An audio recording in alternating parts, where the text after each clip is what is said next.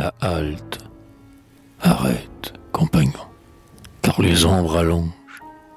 Sur ces gradins étroits du temple abandonné, drapés dans nos manteaux de laine et dans nos songes, nous attendrons en paix qu'un jour nouveau soit né. Les pêcheurs sont entrés au port. J'entends les cimes bruire faiblement des grands pins maritimes et le chant alterné des vagues dans la nuit. Les dieux sont absents. Diane dort, sans doute, ayant chassé de l'aube en fleurs. Comme une fleur, elle s'est inclinée au milieu de ses sœurs, et les souffles divins ont mêlé leur douceur, et les seins délicats s'apaisent sous les voiles.